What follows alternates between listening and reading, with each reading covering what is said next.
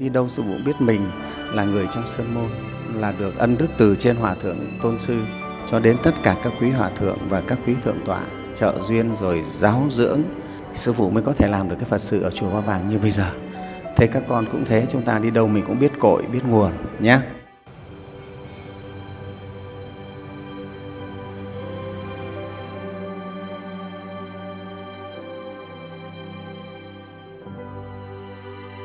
Viện chủ tức là hòa thượng thượng thanh hạ từ.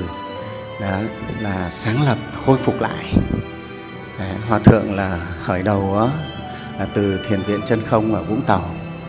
Sau đó thì hòa thượng đã xuống đây để xây dựng thiền viện thường túc ừ, từ những năm đầu rất là khó khăn. À, thì năm khoảng năm 1991 92 À, khi đó sư phụ à, được lần đầu tiên lúc còn cư sĩ vào đây thì thiền viện còn rất là hoang sơ sơ sài lắm. Đó. thế sau đó rồi thì từ thiền viện thường chiếu và các thiền viện xung quanh đây mọc lên. Thiền viện linh chiếu, huệ chiếu, viên chiếu, phổ chiếu, liễu đức, vân vân. Đó, rất là nhiều. Và sau đó thì hòa thượng mới lên trúc lâm đà lạt, lên đà lạt hòa thượng xây dựng thiền viện trúc lâm đà lạt đó, thì cái hôm mà động thổ xây dựng thiền viện xuân lạc đà lạt lúc đó là sư phụ là cư sĩ và nó cũng được à, dự lễ đó. Thế thì à, tổ đình thường chiếu là trung tâm. Thì hiện nay là hòa thượng tông chủ, hòa thượng thượng thanh hạ từ cũng đang ở đây.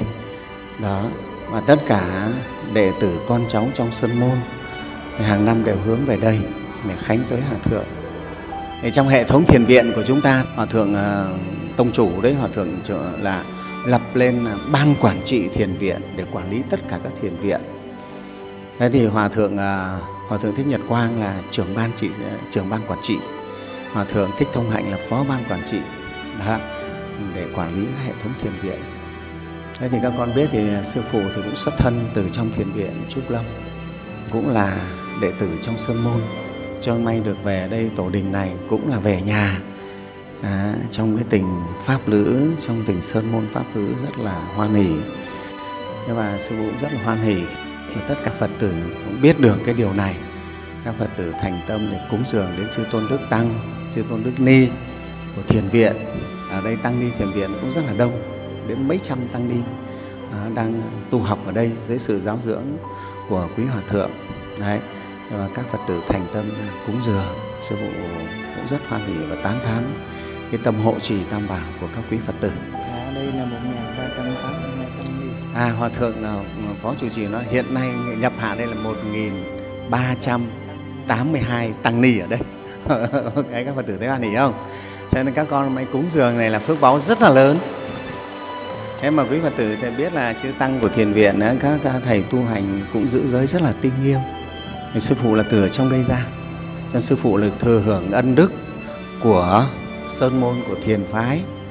Đó, cho nên dù thế nào sư phụ cũng thế, đi đâu sư phụ cũng biết mình là người trong sơn môn, là được ân đức từ trên hòa thượng tôn sư cho đến tất cả các quý hòa thượng và các quý thượng tọa trợ duyên rồi giáo dưỡng.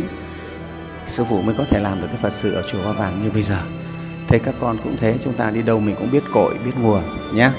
Đó thì hôm nay các phật tử được về đây rất là hoan hỉ chúng con à, rất là thành kính tri ân quý hòa thượng, quý thượng tọa và chư đại đức ở đây. À, và hiện nay thì con cũng đang à, giáo hóa phật tử tu tập. Đấy nên thì bạch hòa thượng này, hòa thượng cũng hoan hỉ cho.